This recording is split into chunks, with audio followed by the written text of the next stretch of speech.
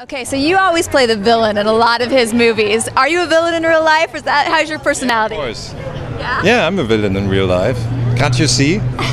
You don't look like a villain at all. Of course, I'm not a villain, you know. But I have a German accent, so I'm always going to play something, you know, questionable. So, what can we expect from your character in this film? Uh, well, I'm, you know, uh, I jump over cars whenever there's something difficult. I, I do backflips because I'm the gymnast.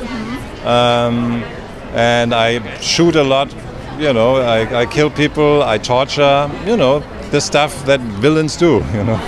So, there was a lot more action and those type of things in this movie. How fun was that for you to play? It was really nice because uh, Adam has the support of these great comedians, you know, who always come up with new funny things to do. And you can always trust, you know, something doesn't work so well, then one of these comedians comes up and goes like, do this, and, and it just works, you know. Very much fun. So, did you get to do a lot of your own stunts? No. No.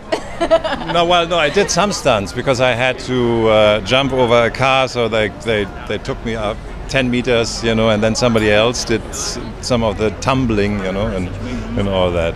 But, but it was very much fun, yeah. So, if you were given the opportunity to change identities with anybody for 24 hours, who would you pick and why?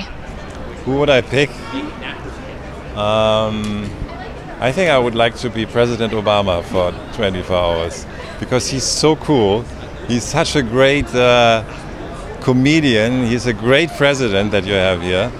Uh, and it would be so much fun to be that guy, you know.